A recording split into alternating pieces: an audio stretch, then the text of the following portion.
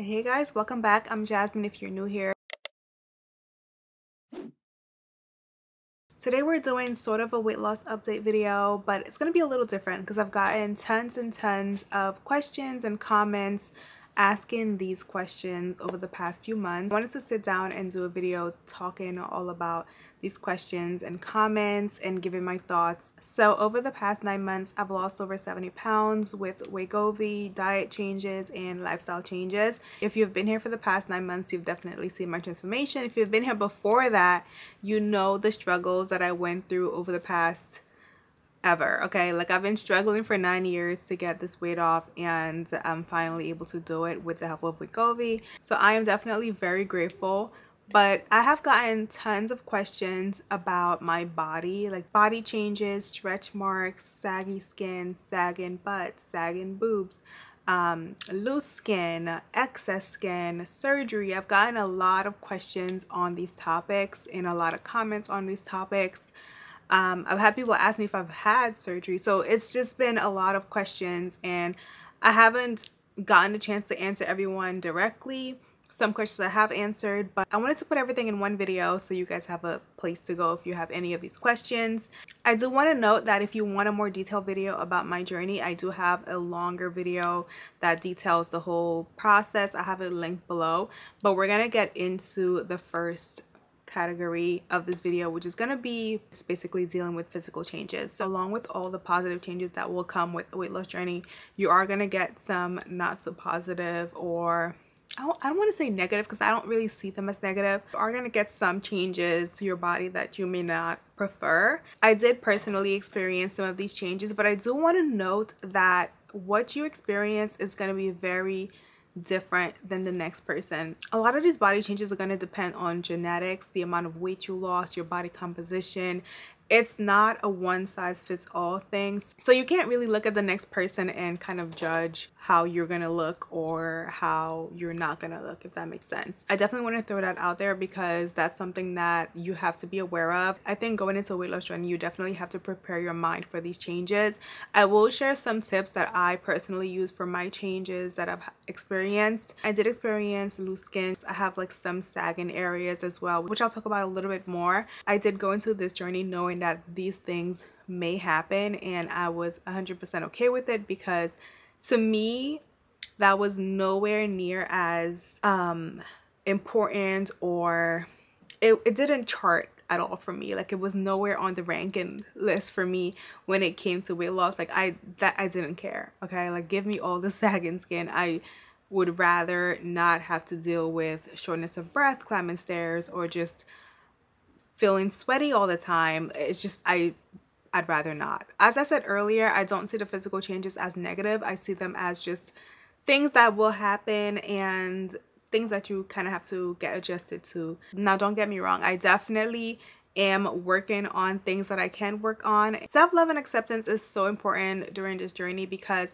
it's so easy to always pick at the negatives. Like somehow it's always so easy to completely forget all the positive things on a journey like this one and to only focus on the things like sagging skin or smaller boobs or like these things. So I think just going into the journey and practicing self-love and acceptance will help those feelings and will help you appreciate your body, your new body. One thing that also really, really helped me was looking at it through a lens of health versus physical. And for me, that was really a game changer and a mind changer because I remember when I first started, and I mentioned this in my other video, when I first started back in like May, my labs were all over the place when it came to like cholesterol and um, a1C and all those things, they were just wacky. Like so many labs were just wacky.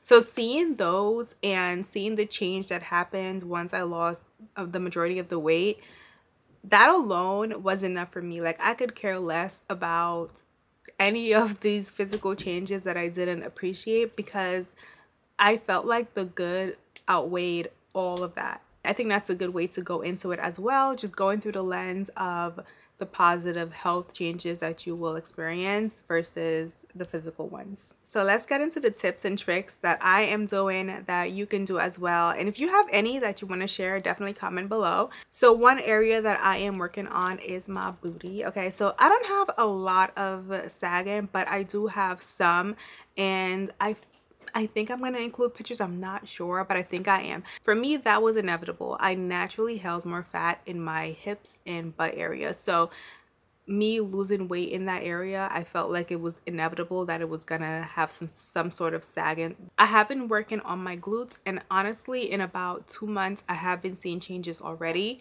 So I've been focusing on a lot of glute exercises. Like I'm literally going to the gym and just doing butt day. I'm doing butt day. If I make it to the gym one day out of the week, it's butt day. Like if I make it two days, it's butt day two times. I've been focusing heavy on that because to me, that's the area that I want to see the most change in.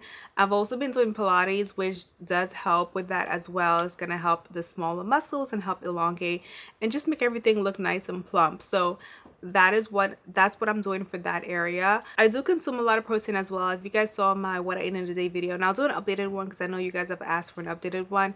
I do consume a lot of protein to help with that as well to help retain muscle to help build muscle. Early in my journey i was not consuming enough protein and that's something that you definitely don't want to do. You, you definitely want to include enough protein in your diet so that you don't lose as much muscle mass. During the first half of my journey, I did focus very heavily on cardio because I just wanted to get everything off.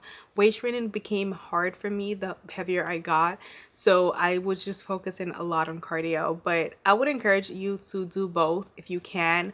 It's just going to help you a lot more in the end to just have done both the whole way through. But do whatever you can because for me, I know it was a struggle to get on the weight machines. I just preferred to be on the treadmill when I had a lot of weight to lose. As far as glute exercises, deadlift, the glute machine, I forget what it's called. Um, some gyms have them. It's this machine that you get into and it works your glutes. I have a picture of it on the screen. But if you don't have that machine, you could just use a barbell and a bench and do those. Those are very isolated glute machines, glute exercises, and they're going to really help target your glutes. Also squatting, um, leg pressing, depending on where you put your feet at. Like look up glute exercises and do all of them. All of them. And include weights. The weights are going to help you okay? Add weights in. I do have stretch marks but my stretch marks are actually not from this journey. My stretch marks are actually from pregnancy. Honestly they've been here for 13 almost 13 years. So I've grown to love them. I've grown to just know this part of me. I'm not going to be walking around with a crop top that shows my abdominal area.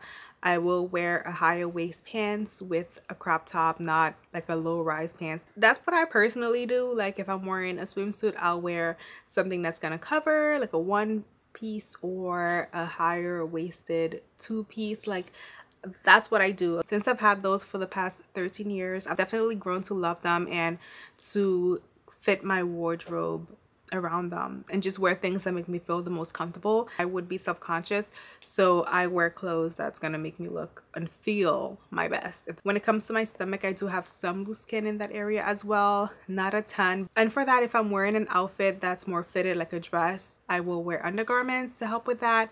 I don't have a ton honestly a blue skin my, in general i will say my skin is pretty tight. Like i do have sagging in some areas like i mentioned like my butt. I have like jiggly like you know little jiggle here. But my skin is pretty taut in most areas if that makes sense. Not really too much like loose skin in that sense. Maybe if i lost another like 30 40 pounds i would see that but i'm not going to. So we'll never know. I'll show you guys the areas that are looser so you can see what I'm talking about. I've also gotten questions about surgery. Personally, I don't plan to have any procedures done, but I understand if somebody wants to. I've gotten questions about my face. Um, when you lose weight, your face is going to change. I've seen those questions in a lot of people who have lost weight, and I think people don't realize like there's fat on your face as well. So you, if you lose fat on your face, it's going to look like it's to look different. You're to look different. I definitely wanted to make changes with my vitamins to help improve my skin in general. So I do include vitamins in my routine that helps with skin. So vitamin C, omega-3s um, these types of vitamins definitely help with your skin they help with your skin's elasticity and um, collagen production so those are the vitamins that i take specifically for my skin i believe vitamin a and vitamin E also help with skin. So I'm to incorporate those as well. Also, water intake is going to help with your skin hydration. So you can also include that into your routine. I'll have the supplements that I personally take below. I swear by my new vitamin C. I swear by it, you guys. When I tell you my entire household was sick over the past two weeks, my everybody, everybody, okay, kids and all, and I did not get sick at all. I 100% think it's my new vitamin C from Cymbiotika and knowing that it's helping my immune system like this, I feel like it's going to help my skin as well 110%. Okay, it's it's amazing. It's a little pricey, but I personally think it's worth it. Another area for me that is a little smaller, my boobs are smaller. A couple people actually did DM me about this in particular and I responded that literally that's how my boobs looked when I was 20, 21. Like that's how they look. They, they don't look too much different. I'd be lying if I said there wasn't a little bit of sagging, but not that much different honestly they look very similar things that i did back then for that are the things that i'm going to do now and that i do now and that's wearing the right bra getting a good push-up bra i love certain ones from victoria's secret also from skims skims has some really nice t-shirt bras that do help push the girls up. If you have any bra recommendations, I'm always curious to know. Let me know in the comments because I love good bras. Overall, doing things to help improve your skin elasticity, muscle tone is a big key to helping with loose skin and sagging skin because the muscle is going to help fill it out. So that's why I really stress upping your protein and doing a lot of glute exercises for your butt. For your arms, you can do a lot of arm exercises, um, curls, pull in, pushes for the back of your arms. And all these weight training exercises are really going to help fill you out with muscle. You're not going to look like a bodybuilder, so don't even think that. But it's to help tone you and make you look right. Muscle mass also helps you lose weight in the long run. The more muscle you have on you, the more calories you burn in a day. So, I mean, it's a win-win situation, okay? It's also really helpful to have a supporting community around you, people that are to help encourage you and be positive because, girl, there are so many people who are not positive when you're on this type of journey, especially if you're using a medication, if you had a weight loss surgery, if you had like a BBL or any of those types of lipo, any of these procedures that are seen as not natural, which, okay, they're not natural, we know that. Any of the above is going to bring a lot of negativity. So you have to be prepared for that if you're going to share with anybody. You really don't have to in my opinion like at the end of the day you're doing it for yourself. Whether it be your friends family an online community definitely finding a positive supportive community of people that are going to help encourage you and bring positivity to a very opinionated topic okay? If you have any other questions comment down below so i can get to you but hopefully i answered everything and i'll see you guys in the next video. Bye.